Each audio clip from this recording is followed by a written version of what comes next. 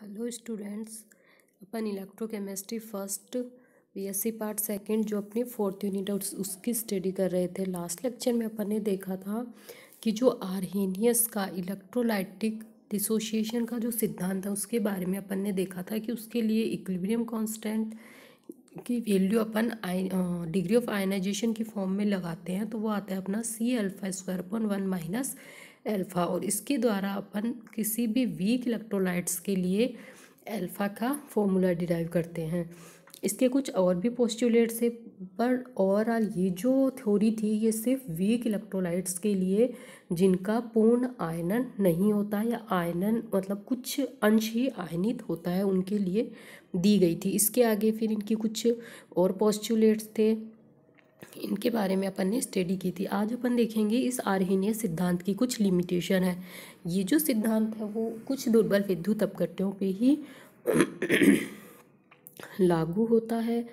प्रबल विद्युत अपघट्य हैं, उन पर ये लागू करने में इसमें कुछ डिफ़िकल्टीज आती हैं, जिनमें से कुछ निम्न है।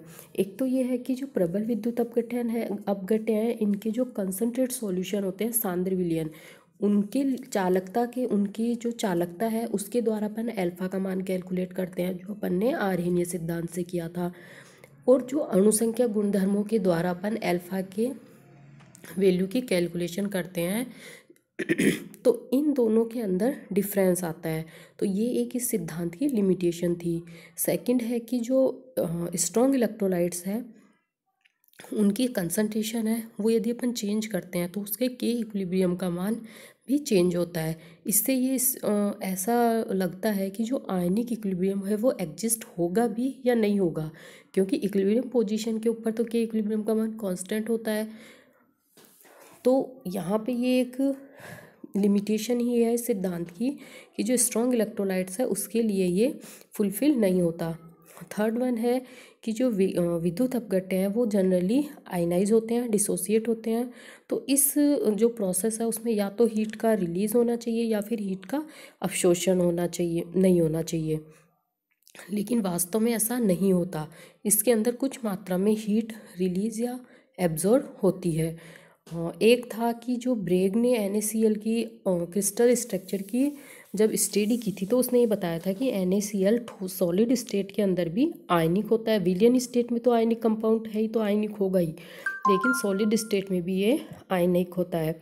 उसके बाद जब आर्हेनियस ने ये माना कि जो एन ए प्लस और सी एल माइनस से मिल मिल के एन ए सी एल अणु बनता है तो ये कैसे प्रूव करोगे कि आप तो कह रहे हो एक तरफ़ की सॉलिड स्टेट में तो ये है ही आयनिक? और एक ये सिद्धांत ये कह रहा है कि ये जो एन ए प्लस से सी एल माइनस मिल के एन ए सी एल का बनना है, ये एक रिवर्सिबल प्रोसेस है। तो इन दोनों में कंट्रोवर्सी आ जाती है। तो ये भी एक इसकी लिमिटेशन थी।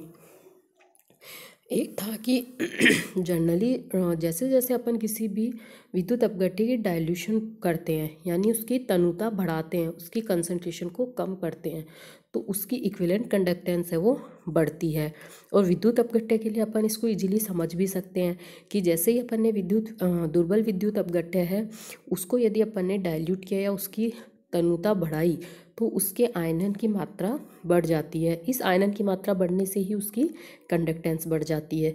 लेकिन जो प्रबल विद्युत अपघट्य हैं, जैसे एन इनके लिए इसे इजीली नहीं समझाया जा सकता है, क्योंकि ये तो जनरली सॉलिड स्टेट में ही पूर्णतः आयनित रहते हैं। तो इसके लिए अपन ये कैसे समझाएँगे कि इनकी भी तनुता बढ़ने पर विद्युत अप, इनकी जो स्ट्रॉन्ग इलेक्ट्रोलाइट्स हैं, इनकी अपन इक्विलेंट को कैसे बढ़ा हुआ मानते हैं, इसके अपन कोई एक्सप्लेनेशन यहाँ नहीं दे सकते। तो ये जो ओवरऑल सिद्धांत है, ये केवल वीक इलेक्ट्रोलाइट्स के लिए ही लागू होता है स्ट्रॉन्ग इलेक्ट्रोलाइट्स पे लागू नहीं होता है। इसके आगे जो आर्हेनियस है, उसने इस इलेक्ट्रोलाइट्स को दो भागों में डिवाइड किया, एक था वीक इलेक्ट्रोलाइट्स और एक था स्ट्रॉन्ग इलेक्ट्रोलाइट्स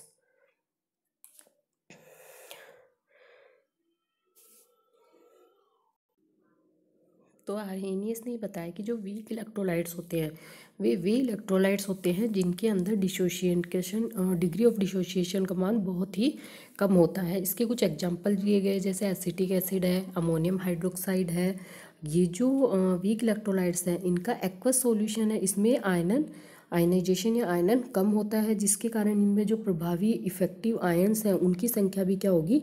कम होगी और इसी कारण इनकी कंडक्टेंस भी क्या होती है? कम होती है।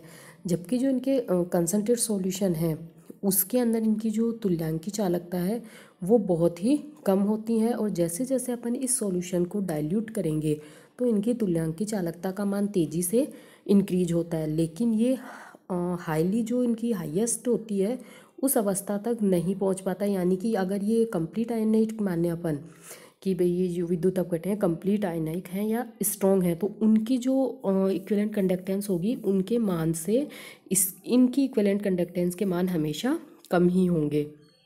यानी ये पूर्णतः आयनिक अवस्था में नहीं होते हैं और इनके में जनरली जो ऑर्गेनिक एसिड और बेस होते हैं, वो आते हैं। जैसे ये ऑर्गेनिक एसिड है, ये ऑर्गेनिक बेस है।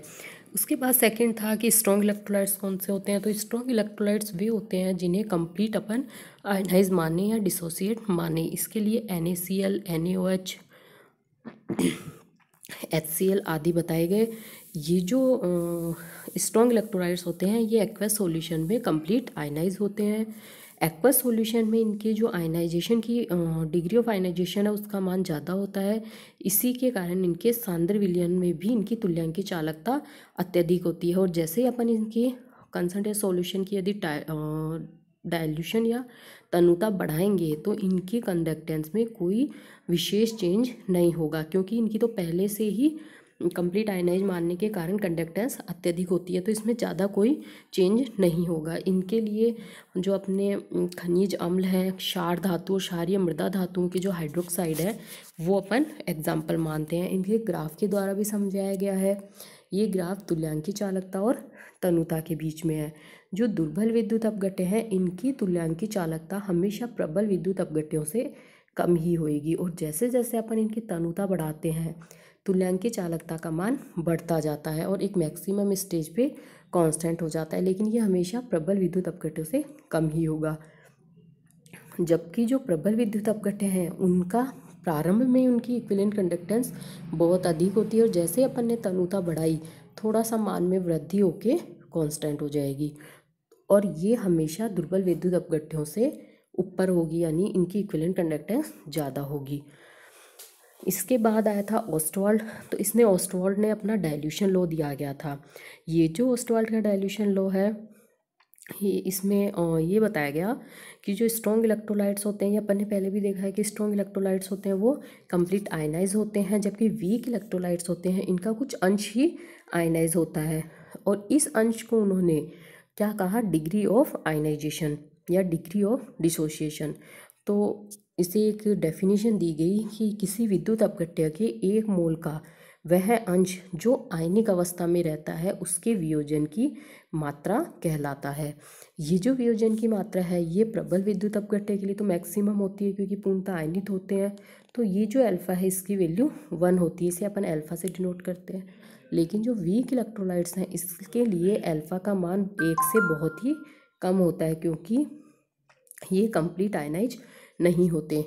इसके बाद ऑस्टॉल ने जो अपना नियम दिया, वो ये कहा कि जो वीक इलेक्ट्रोलाइट्स हैं, उनके तनु विलयनों पर द्रव्य अनुपातित क्रिया का नियम लगा के अपन उनके आयनीकरण की अंश या डिग्री ऑफ़ डिसोशिएशन की कैलकुलेशन कर सकते हैं।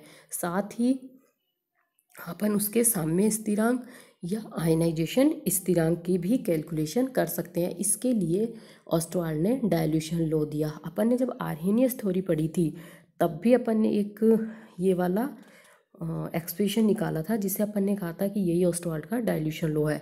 यहाँ पे अपन वापस से उसी ही निकालेंगे। देखिए मैं दिखाती हूँ आपको। ये जो अपना कल का लेक्चर था, उसमें देखा था अपन ने आर्हेनियस थ्योरी इसके फ़र्स्ट पोस्टुलेट में भी अपन ने इसी तरह से एक एक्सप्रेशन निकाला था, जो डिग्री ऑफ़ आयनाइजेशन और कांस्टेंट के बीच में था कि यही अपन यहाँ निकालेंगे। जिसे अपन ने ऑस्टवाल्ड का डाइल्यूशन लगा तो एक अपन वीक एसिड लेते हैं एच ए और इसके डिसोसिएशन या आयनाइजेशन को इस तरह से शो करते हैं H plus plus A minus initial stage में अपन इसकी कंसनट्रेशन वन मानते हैं, जब इसका आयनाइजेशन नहीं हुआ था, यानी ये ज़ीरो ज़ीरो थे। अब माना कि इक्विलिब्रियम पे इनका आयनाइजेशन अल्फ़ा हो रहा है तो अल्फ़ा एच प्लस बन गया अल्फ़ा ए माइनस बन गया, और ये अल्फ़ा इसकी जो इनिशियल कंसंट्रेशन था, उसमें से कम हो गया। इस पर अपन द्रव्य अनुपातित क्रिया नियम लगाएँगे तो के सी जो अपना इक्विलिब्रियम कांस्टेंट है, वो आएगा कंसनट्रेशन ऑफ़ प्रोडक्ट तो एच प्लस और A minus upon concentration of reactant जो कि एच ए है। माना कि इस पूरे जो विलियन था, उसका वॉल्यूम है अपने पास वी तो अपन इस वॉल्यूम के द्वारा इनकी कंसनट्रेशन निकालेंगे। तो कंसनट्रेशन ऑफ़ एच ए होगी, वो होगी one minus alpha upon V H plus होगी एल्फा अपॉन वी और ए माइनस होगी एल्फा अपॉन वी इन तीनों वैल्यू को अपन इक्वेशन एक में पुट करेंगे। वी से वी कैंसिल हो जाएगा। तो अपने पास आ गया K C equal to alpha square upon one minus alpha into V इसे अपन alpha square C upon one minus alpha भी लिख सकते हैं, क्योंकि जो वी है वो प्रोपोश इन्वर्सली प्रोपोर्शनल होता है सी के। तो यहाँ पे मैंने जहाँ वी था वहाँ वन अपॉन सी रख दिया। ये जो अपनी इक्वेशन है, यही अपना क्या है ऑस्टवर्ड डाइल्यूशन लॉ लेकिन जो वीक इलेक्ट्रोलाइट्स हैं, उनके लिए अपन ने कहा था कि डिग्री ऑफ़ आइनाइजेशन या फिर डिग्री ऑफ़ डिसोसिएशन का मान एक से बहुत ही कम होता है तो अपन वन माइनस एल्फ़ा को क्या करेंगे? वन के इक्वल रख देंगे। तो ये जो अपनी इक्वेशन थी, इसमें अपन यहाँ नीचे वन कर देंगे। तो K C equal to alpha square C यहाँ से एल्फ़ा अपन निकाल लेंगे। ये जो इक्वेशन है, यही अपनी क्या है? ऑस्टवाल्ड डाइल्यूशन इक्वेशन कहलाती है।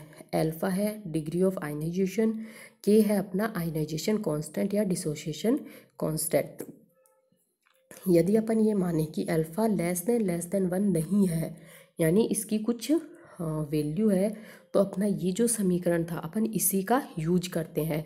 और इससे अपन एक बाइनोमियल इक्वेशन निकालते हैं, जो अपने पास ये आती है। जब अपन इसे सॉल्व करेंगे के सी को वन माइनस एल्फ़ा से मल्टीप्लाई करेंगे equal to alpha square C रखेंगे तो अपने पास ये एल्फ़ा में एक बाइनोमियल इक्वेशन आएगी। और इसे अपन सॉल्व करके एल्फ़ा की वैल्यू कैलकुलेट करते हैं। ये तो था एक सिंपल एसिड के लिए।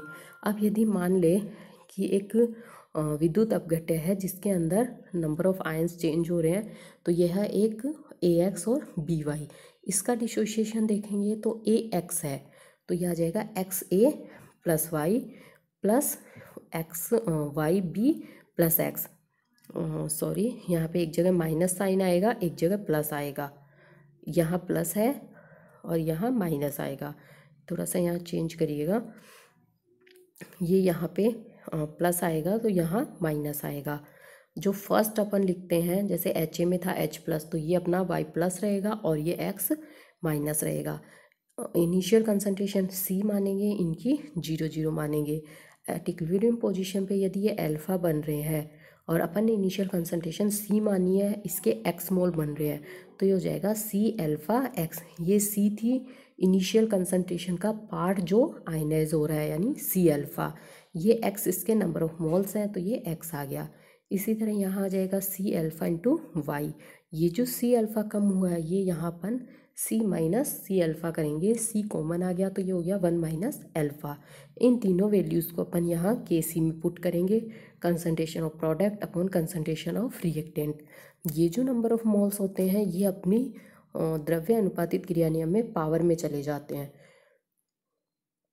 तो K C equal to product की कंसंट्रेशन जिसमें यहाँ आएगी एक की कंसंट्रेशन इसकी पावर लगेगी ये एक्स इसी तरह यहाँ आ जाएगी इस बी एक्स माइनस की कंसंट्रेशन और इसकी पावर लगेगी ये वाई अपॉन रिएक्टेंट की कंसंट्रेशन अब अपन इसे सॉल्व करेंगे तो अपने पास ये एक्सप्रेशन आ जाएगा।